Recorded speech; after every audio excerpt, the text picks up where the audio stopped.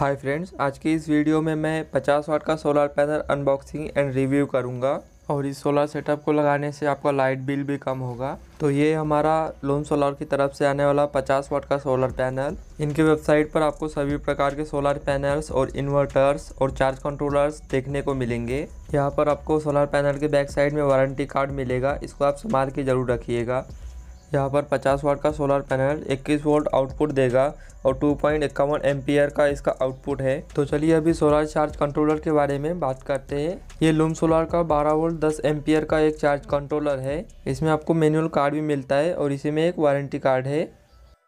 यहाँ पर solar panel का वायर कनेक्ट होगा। यहाँ पर हमें सोलर पैनल का तार कनेक्ट करने के लिए डेढ़ स्क्वायर एम का वायर यूज़ कीजिएगा या फिर ढाई स्क्वायर एम का। और यहाँ पर हमें ज़रूरत पड़ेगी डीसी ट्यूबलाइट की, क्योंकि इस सेटअप में आपको ये भी इंक्लूड करना होगा।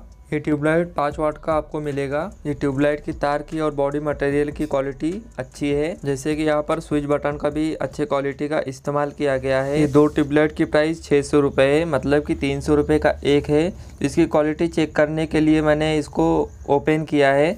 तो यहाँ पर आप इसकी क्वालिटी देख सकते हो, इसकी हीट सिंक की और इसके अंदर जो भी कंपोनेंट्स लगे हैं, अच्छे क्वालिटी के कंपोनेंट्स और ज़्यादा कंपोनेंट्स लगे हैं तो इसीलिए एलईडी जल्दी से ख़राब नहीं होगी। इसके ख़राब होने का चांस बनता ही नहीं है।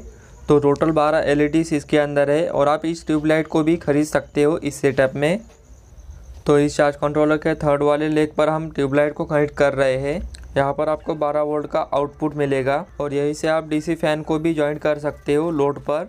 या फिर आप डायरेक्ट बैटरी पर भी ज्वाइन कर सकते हो। और यहाँ पर ये एक 12 वोल्ट की एलईडी स्ट्रिप है। आपको इसे बैटरी से या फिर कहीं से भी यूज़ नहीं करना चाहिए, क्योंकि इसकी रोशनी ज़्यादा होने के कारण ये बैटरी को जल्दी से डिस्चार्ज करता है। और यहाँ पर हम बैटरी के दोनों तार को ज्वाइन कर लेते हैं। यहाँ पर बैटरी कनेक्ट होगा।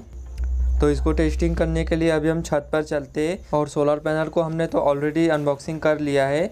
तो इस पर, इस सोलर पैनल पर और इस सेटअप पर, छोटे से बैटरी वाले सेटअप पर आप 700 वाट का इन्वर्टर भी यूज़ कर सकते हो। लेकिन वो इन्वर्टर आप सिर्फ़ दिन में ही यूज़ कर सकते हो क्योंकि हमने इसमें जो बैटरी ली है, चौदह ए की ली है। तो इसी की वजह से आप रात में इसे यूज़ नहीं कर सकते हो, दिन में ही इसे यूज़ कर सकते हो। तो यहाँ पर हमें सोलर पैनल से अभी 21 वोल्ट मिल रहे हैं। और इसमें आपको आउटपुट करंट ढाई एम्पियर तक मिल जाएगा, वो तो मैंने आपको बता ही दिया था। तो सोलर चार्ज कंट्रोलर को मैं इसमें ज्वाइन कर लेता हूँ, जो भी तार था। ये देखिए सेटअप हमारा ऑलरेडी अब कंप्लीट हो चुका है। इस सेटअप को आप अपने घर पर या फिर अपने किसी भी दुकान पर इस्तेमाल कर सकते हो। चार्ज कंट्रोलर में जब तक हम बैटरी को ज्वाइन नहीं करेंगे, ये दोनों बैटरी के तार तब तक ये ऑपरेट नहीं होगा। और भाई जब आप इस पर इन्वर्टर को यूज़ करना चाहते हो, जैसे कि दिन में लाइट फ़ैन टीवी वगैरह चलाना चाहते हो तो आपको क्या करना होगा? प्योर साइन वे का इन्वर्टर आपको ख़रीदना होगा 700 वाट का। स्क्वायर वे का इन्वर्टर मत लेना। देखिए अब बैटरी चार्जिंग का इंडिकेटर ये ऑन हो गया है बैटरी चार्ज हो रही है। और यहाँ पर मैं ट्यूबलाइट को ऑन कर लेता हूँ। तो ये पाँच वाट का ट्यूबलाइट है, अच्छी रोशनी है इसकी। चार्ज कंट्रोलर के लोड पे आप DC tube light DC bulb DC fan वगैरह ज्वाइन कर सकते हो, उसे यूज़ कर सकते हो। तो यहाँ पर आप देख सकते हो, इसकी बैटरी की जो है चार्जिंग हो रही है चार्ज कंट्रोलर की मदद से, और धूप जो है अभी फ़िलहाल यहाँ पे कम हो गई है। इसीलिए थोड़ी वोल्टेज भी जब ट्यूबलाइट ऑन करूँगा, और इसी चार्ज कंट्रोलर से जो है आप मोबाइल चार्ज कर सकते हो। स्क्रीन के चमकने के कारण मोबाइल में दिख नहीं रहा है कि मोबाइल चार्जिंग हो रही है या फिर नहीं, लेकिन फ़ोन चार्जिंग हो रही है। तो अभी मेरे पास है एक सौ वाट का इन्वर्टर तो चलिए मैं चेक कर लेता हूँ इसे, इस बैटरी पर ये वर्क करता है या फिर नहीं। तो अभी मैंने इन्वर्टर के जो दोनों तार है बैटरी में कनेक्ट कर लिया है, और यहाँ पे मैं कनेक्ट करता हूँ साठ वाट का बल्ब इन्वर्टर से। तो देखिएगा बल्ब की जो है ग्लो कर रहा है। ये बल्ब की जो रोशनी है, आपको कम ग्लो करता हुआ दिख रहा होगा, लेकिन ये दिन में दिख रहा है, इसीलिए ऐसा कम ग्लो कर रहा है, लेकिन ये फुल ग्लो ही कर रहा है। तो पाँच वाट का ट्यूबलाइट भी इसमें भी ग्लो कर रहा है मतलब दोनों एक साथ, इन्वर्टर वगैरह।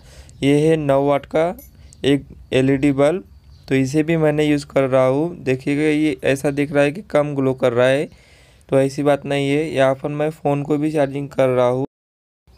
कंट्रोलर के लोड पर अभी मैं डीसी फ़ैन को भी कनेक्ट कर लेता हूँ। तो आप यहाँ पर इससे बड़ा भी डीसी फ़ैन यूज़ कर सकते हो। फ़िलहाल मेरे पास तो नहीं है, लेकिन आप कभी भी बड़ा वाला डीसी फ़ैन ही खरीदिएगा। तो आई होप कि आपको ये वीडियो अच्छी लगी होगी। वीडियो को लाइक शेयर सब्सक्राइब ज़रूर करना। लूम सोलर के प्रोडक्ट्स की लिंक मैंने डिस्क्रिप्शन बॉक्स में दिया है। एक बार चेकआउट ज़रूर कीजिएगा।